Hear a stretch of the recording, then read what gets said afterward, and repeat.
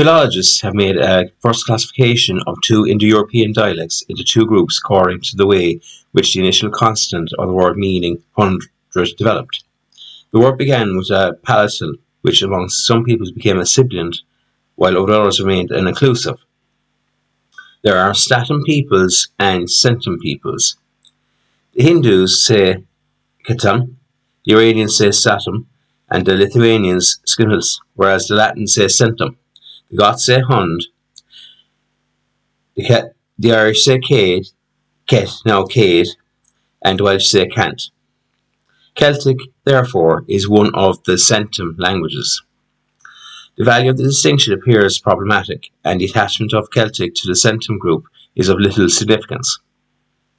If we remember that French, which is one of the heirs of, of Celtic, has transformed Latin occlusive into a sibilant, but one should mention the matter. Now, let's consider the diagram for a minute. This diagram, devised by M. Meillet, shows the Indo-European languages grouped according to their affinities. At the same time, it shows their sorry, topographical distribution. The vertical diameter divides the Satem peoples from the Centum peoples. Each group is a continuous. The dialects of each have been spoken by peoples which were, are, or were neighbours. We shall see the other evidences of their kinship. The symbol chosen is not perhaps the most expressive possible, but it is the thing symbolized as certain. One group is missing from the diagram, namely the Tokharians of Turkestan. They are surrounded by peoples which spoke um, the languages of the Satem type. Indian or Iranian spoke languages of the Centum type. But we have more than one reason for believing these uh, Tokharian dialects have affinities with the Western group of Indo-European languages. The slanting diameter which runs right across the diagram sets apart, in the same half of the ellipse, the Balto-Slavonic, Germanic, Celtic and Italic tongues. This grouping expresses a different kind of relationship from that which associates Greek with the three last name dialects to the left of the vertical diameter. The peoples of northwestern Europe had a certain number of roots in common, which the others lacked. They had bonds of civilization, a common life. It may be said, without much danger of error, that the Indo-European languages have the same relationship to one another as the geographical areas which they cover. It is highly probable that the affinities of various kinds existing between the dialects fairly represent racial affinities of the peoples.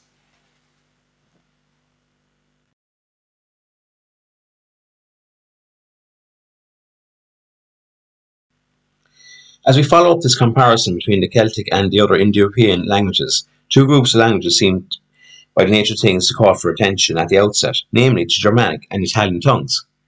The former covered an area which was continually in contact with that of the Celtic languages, and it's also probable that Celtic and Italic were spoken in neighbouring regions before the Italici settled in their peninsula and that the Gallic invasion of Italy merely revived contacts which had existed in prehistoric times. In view of the relationships which appear between the two family groups and Celtic, one might possibly regard them as one family. The Western family of the Indo-European languages, uh, which moreover will show considerable associations with two other neighbouring groups, the Baltic and the Slavonic, which belong to the Satem group. Confining oneself to Celtic, Italic, and Germanic, one might suppose that these three groups formed a single unit comparable, to some extent, to the formed by the Celtic languages amongst themselves, but more comprehensive and differentiated earlier and more completely. But the matter is not as simple as that. Of the phonetic and morpho morphological facts in which the relationship of these three linguistic groups is shown, some may perhaps date from the remotest past of Indo-European, and be features of one of its dialects. But there are others which appear as absolute innovations, for the most important of which is the modification of the linguistic rhythm. Now, the rhythm is a very stable element of a language, and still more so of a way of speaking and pronouncing. In Indo-European, the accent of a word seems to have been very weak. It was musical. It fell everywhere, according to the sense. In Celtic and Italic, as in Germanic, the qualitative rhythm of Indo-European deteriorated. The accent gradually became an accent of stress fixed in a definite place, usually the first syllable, which finally assumed as a preponderant position in the word. A fact of this kind may be attributed to the influence of foreign elements, probably in part to the same elements, entering in different proportions into the formation of the three groups of peoples concerned. Italic, which has changed its abode, resisted the tendencies at first, but finally succumbed to them. Germanic and Celtic, in the other hand, which remained in neighbouring regions, developed partly along parallel lines. The parallelism is most complete between Gaelic and Germanic. M. Meillet, in the work from which I have taken these remarks, points to other facts which seem to tell the same story. In phonetics, the weakness of the final in consequence of the strengthening and the initial, the alteration of intervocal consonants, the, sensi sorry, the sensitiveness of vowels to the influence of neighbouring phonemes. In morphology, the accentuation of the verb in of the notion of tense, which is shown by the creation of special forms to express the preterite, is shown by the creation of special forms to express the peritite and distinction of past subjunctive. These last observations are equally true of the Baltic languages. Moreover, the Western Indo-European languages have drawn on a common vocabulary. They alone possess certain roots certain forms of the same roots, or certain senses of which these roots may take. Latin hasta represents a Western root which appears in Irish gas or sog, Gothic guz, goad, and Old High German gert or rod. Latin uriro, spit, represents another which produced Irish bur or point, Welsh bur, spear, and Gothic queru. Irish "fi", genitive "faha" or "bard", soothsayer, corresponds to Latin "vates", and modern German "v", "votan", and possibly "votan". Here now is the name of an animal. Latin has marula, or blackbird, probably for misula. Welsh has milac, which comes from primitive misalaco, and Old High German has misia. Modern German Amsel blackbird has a kindred root. A root ve, which means to blow, Sanskrit vati, he blows, or veu, wind. Lithuanian, bahijas, wind, assumes the same form of the participle in the Western tongues, the blowing one. Latin, ventus, Gothic, winds, sorry, vinds, modern German, wind, Welsh, gwent, Irish, fa, or brett is probably derived from the same root, but it is abnormal. A root v means to, to be has given been used for Western languages formation of the verb being Latin fui, I was. Irish who is to be or v. Modern German bin am. English be. It is complete concurrence between Irish we and Latin feo and Old Saxon wu. Let's now look at a case which various forms of one same root to show us continuality. Latin liquidus has a root vlk, which is uh, assumed different forms, vl and vlk, from which Irish flucket or rain, substance, fluk, wet, falk, a wave, Welsh, wilje, witness with modern German Volk, a club. Old High German Volka represents a variety of the same root. The similarities of vocabulary form a very large mass of facts, which is comparable to similarities of Iranian and Sanskrit, and its similarities will be added to the other words that appear in the Baltic and Slavonic languages, whose connections to the Western languages deserve to be considered altogether and more closely. So then, the Celtic seems to have been taken from a linguistic mass which might be the remains of an Indo-European dialect, split into several fragments. But in the vocabulary, as in the grammar, the philologists try to discover the influence of foreign elements in the shape of words whose structure are not clearly Indo-European. They points to the word for apple, which is abal in Irish, aval in Welsh, and affel in modern German. The name of the town of Abella and the epithet of Mellifera, or appleberry, which Virgil gives it, suggests that the italic once the word has had the word and then lost it is one of the words which also belong to Baltic and Slavonic. There's also a village named Abul in the island of Essel, or Slavonic has uh, Jabalko, Lithuanian has Abalas, and Old Prussian has Ubel.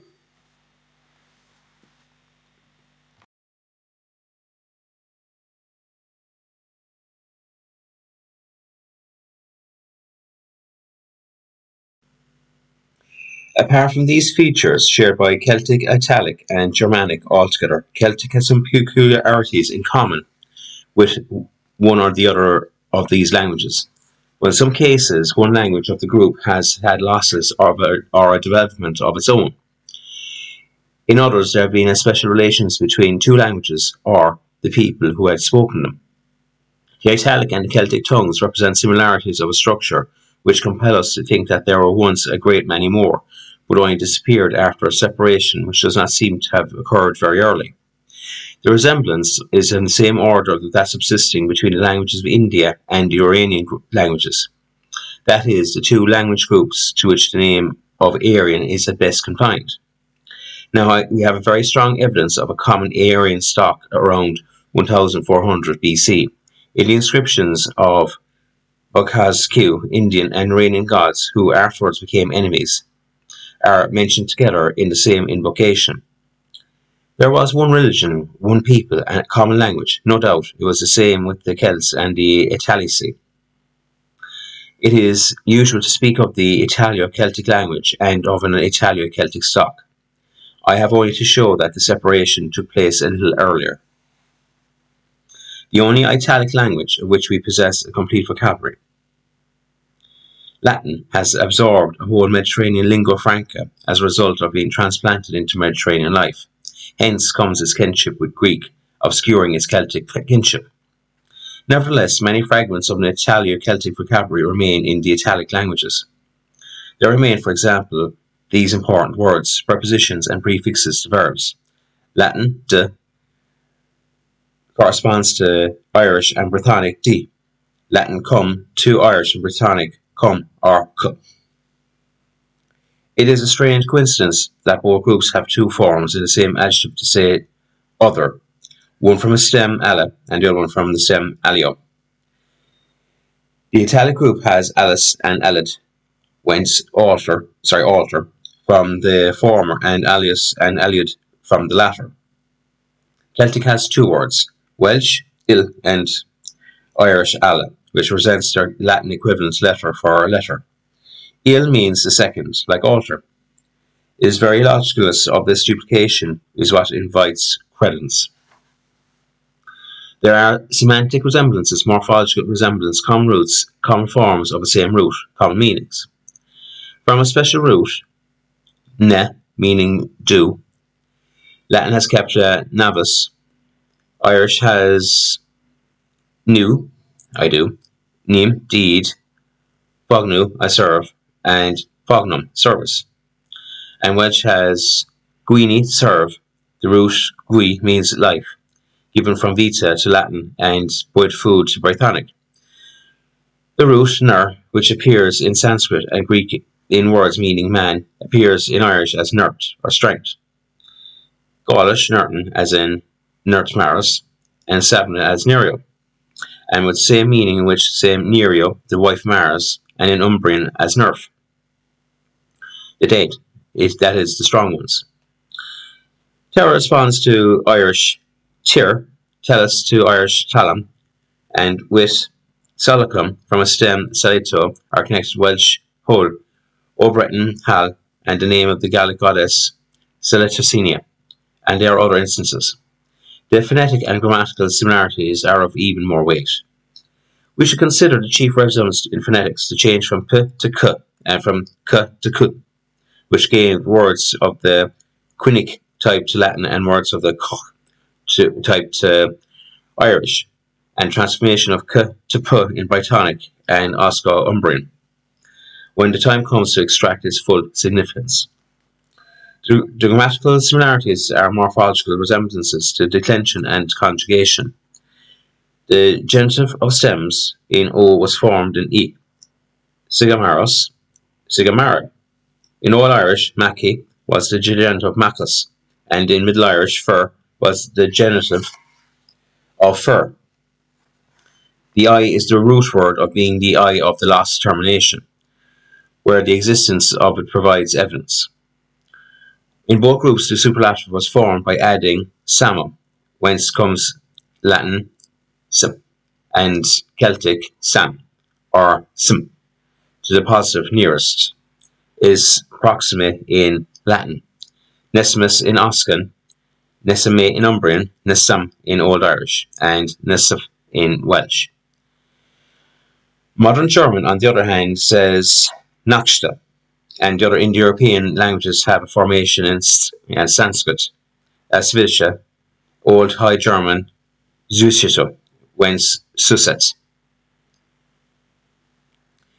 The verb systems of two groups which are very different in, from Indo-European and are in part refashioned from new sources present the same innovations.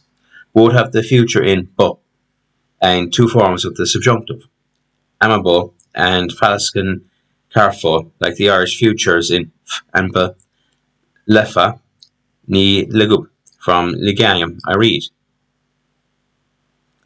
Firm is equivalent to Irish bera, baxim to Irish tayasu or tes. The forms of the middle voice in reflexive meaning disappeared in Latin and in Celtic, whereas they survived to some extent in Germanic. To take its place, Latin and Celtic created what is called a Latin grammar, the deponent, or the inflection of which certain forms is marked by final r, and the same in both languages down to the smallest detail. Lachar is labrur, liquitor is labriher, liquinimer equals labrimmer. In Latin, the conjunction of the deponent is indistinguishable from the passive. Moreover, there are traces in Latin of impersonal passive. Itur, people go, quam color, to whom when it is hot. Umbrian had fur that some people carry, so too Oscan had sacrifice, that sacrifice is made. There's only one passive that Celtic has. The Irishman, for example, says burr is carried, or someone carries. To express the first or second person passive in the personal pronoun is added, either before or after the verb. In the accusative as a complement, Irish number is me who is carried. Glantarmaid hue, eh? Irish no bra, it is me who is carried. Glantarmaid hue, eh? it is me, the, him who is purified. It is the same in Brythonic.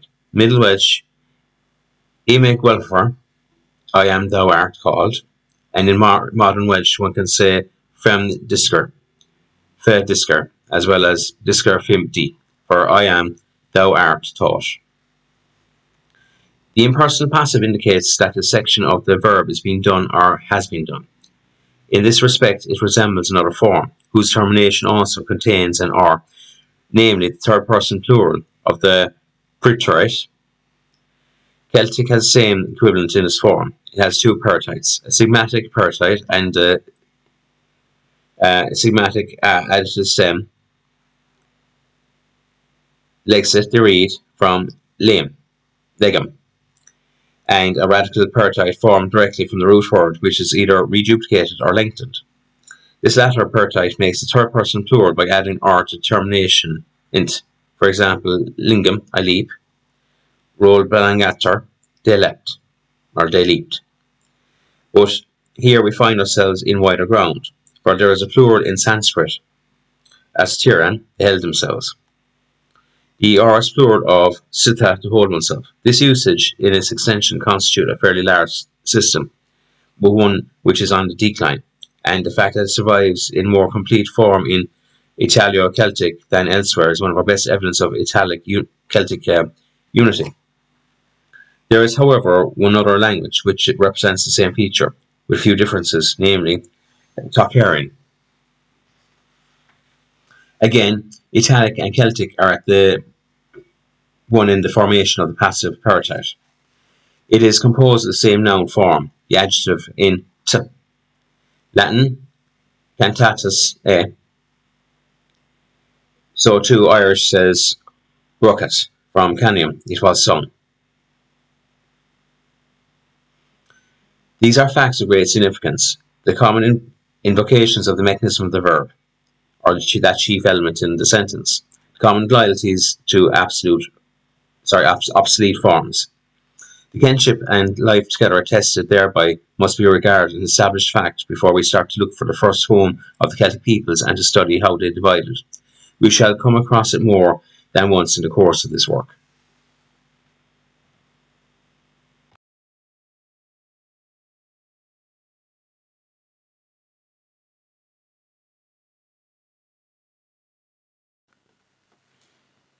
The special affinities of Celtic and Germanic are quite different. Here agreements in vocabulary are far more interesting than phonetic or grammatical similarities. Indeed, examination of the two grammar reveals considerable gulf between the two groups of languages. There are capital differences in the declension of the substantive and adjective. In Indo-European, nouns whose stem formed by the addition of o or a to the root of their plural uh, in s, while the o became or a became long. For example, equus, equios, Sanskrit, Africa, ava. For this termination, Greek, Slavonic, Latin, and Celtic substituted the old termination of pronouns.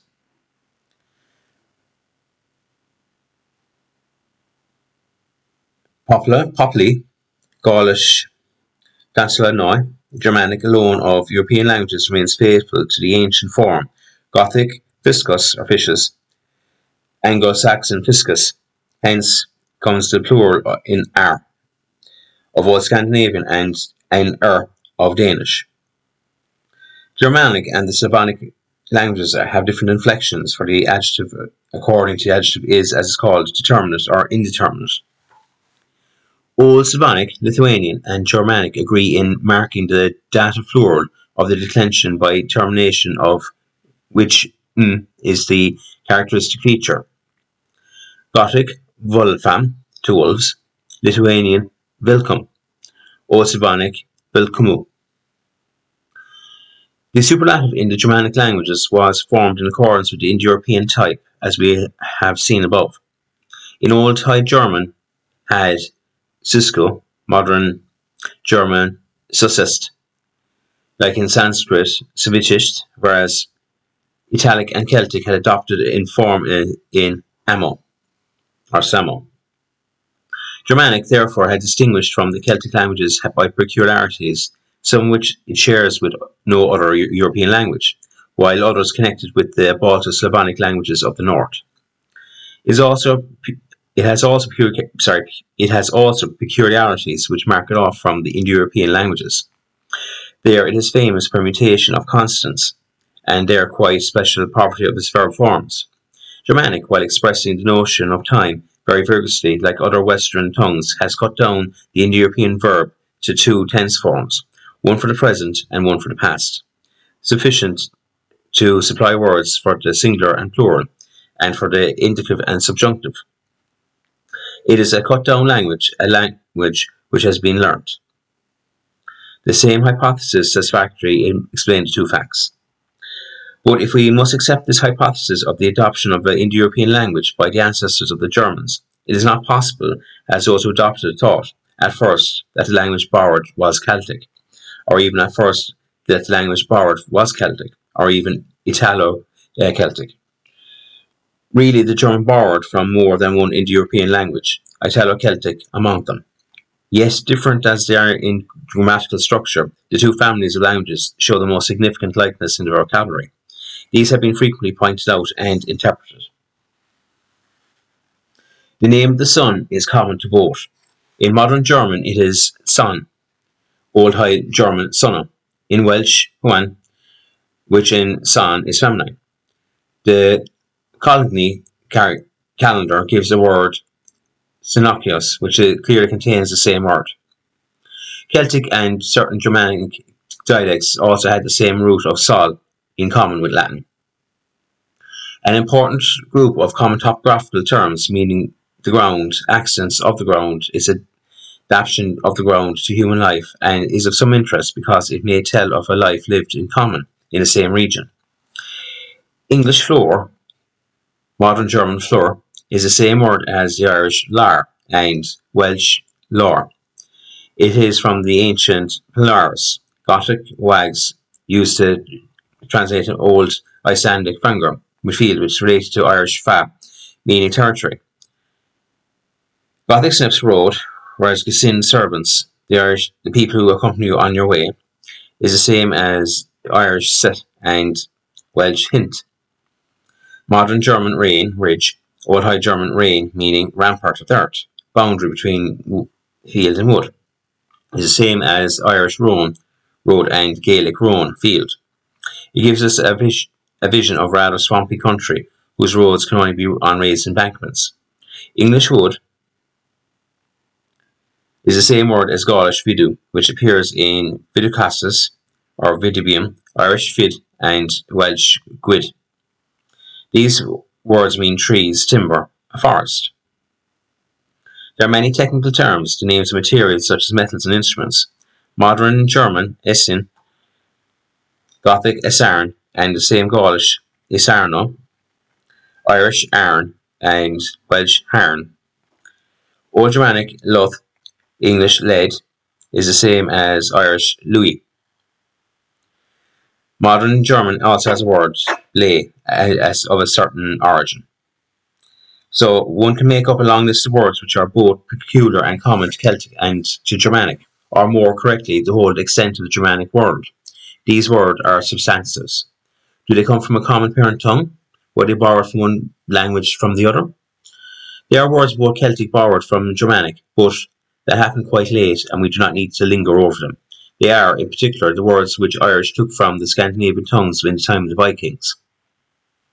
They are authenticated cases of borrowing by Germanic from Celtic. First of all, there is a series of words which have not undergone the Germanic permutation of consonants and were probably borrowed after that practice had ceased, or at least after it ceased to affect spelling. Gaulish, caruca, which comes from French caru, or plough, gave to Old High German curra, modern German kark, Gaulish, Kelkian, or tower, upper story, had taken over unchanged by Gothic. Modern German Ferd, Old High German Furfrit, comes from Gaulish Paraverdus. We should note that the great number of words dealing with horses and vehicles are common to Germanic and Celtic, and there is every chance that the world that the former had got them from latter.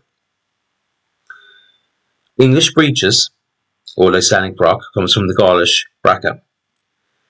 The other words that borrow from Germanic after Celtic had lost p. German land comes from the Celtic lande, which pronounced Irish lan and Welsh lan. In the Middle Ages, it meant both wasteland and the ground surrounding a church. It comes from the root planus. German leader, or ladder, or sorry, leather, comes from a Celtic word represented by Irish la, lahar, or Welsh leather. The root contained the P of the Latin pellis and English fell. In the presence of these facts, some scholars, like d'Arbois and de Jubainville, had led to suppose that many words were borrowed before a Germanic permutation of consonants took place or the Celtic languages lost P. Among these terms common to both groups of languages, there is a whole series of political, legal, and military words. Some of them were certainly borrowed from Celtic, and it is hard to deny that all were. Gaulish ambactus, meaning servant, but in a sense had tended towards that of minister, gave OHG ambant and the same, or Old High German, amb, ambat, and the same meaning of German amt. Gothic Rex, or prince, and Reki, kingdom, comes from the Gaulish Ris and Regan, Irish Riga, but not from the Indo-European Rex and the same associated word. The Indo-European e would come from an a in German. The semblance of both following words explained in the same way. Irish, uh, Germanic eat, English oat. Irish lug, loat, German luga, marriage. Here the borrowed word has been given a more special meaning. Irish fina, family, old German winnie, husband. Old Scandinavian vinner means friend, the same as specialization. Welsh Rid, free, modern Germanic fry, Irish Gal, hostage, modern German Giesel, Irish Arba, inheritance, modern German Erba, Irish Ehrlichen, I tend, sorry, Island represents a Celtic word corresponding to Gothic Livian and modern Germanic Lehen, lend. Obertonic gross value price represents the prototype of Gothic verse or modern Ger German worth value. Modern German ban order comes from a Celtic word represented by Irish verbander, uh, legal order. Now for terms of warfare.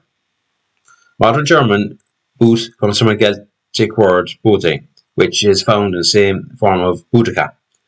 Irish buoid, victory, and Welsh bud, prey, booty. Modern German bruna, breastplate, comes from a Celtic word represented in Irish bruna and Welsh brun, or chest. The war song of the Germans, the Barditus, bears the name of the origin which perceived through Welsh Bardwid, the science of the bards. It was a song sung by the Germanic bards. In all ages, as we know, best equipped and best ordered troops had supplied others with their military vocabulary. The similarities of the Celtic and Germanic vocabularies bear witness to a long period during which they lived together. If we suppose that the Celts and the Germans ever spoke the same language, their intercourse went on after their dialects were separated. But it is hard to believe that they were ever brothers in speech, in view of the different structures of their languages. Probably that they were only brothers by adoption. The most characteristic instances quoted may be explained by borrowing from Germanic from Celtic. They are the borrowing of a people who goes on to other for things and ideas of civilization, for things and ideas designated by substantives. The Celts seem to have been for long ages the schoolmasters of the Germanic people. Perhaps one may go further still. I am very much inclined to believe that one cannot dismiss the hypothesis, which had already been put forward, particularly by d'Arbois de Jubainville, that some political relations existed between the Germans and Celts. Whatever may have been their nature, alliance, domination, or the formation of a common Reich, or whatever their extent. The relations of Celtic and Germanic are a very different kind to those of the Celtic and Italic. In the latter case, we have two languages born of a parent tongue, which lie not far very, very behind, and in the other, formation of a common stock of words due to contact of two people, one of which may have influenced the other at different times, in any case from an early period, and without their ever ceasing to be neighbours. In this influence of Celtic on Germanic, it may not be possible to determine the proportionate share of each of the Celtic uh, dialects. The ancestors of the Irish may well have been in contact with the Germans, no less than the Britons and the Gauls. Secondly, the borrowed words are found in the eastern and northern dialects of Germanic, such as Scandinavian and Gothic, as well as the southern and western. All the Celtic word influenced by all by the Germanic word. Its influence extended even beyond and through the Germans to the Balto Slavs and the Finns.